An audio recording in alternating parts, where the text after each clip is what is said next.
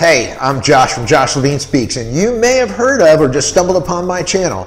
And either way, I am glad you did. I like to think of this channel as more of my own personal video network with shows and series around things I hope you find as interesting as I do.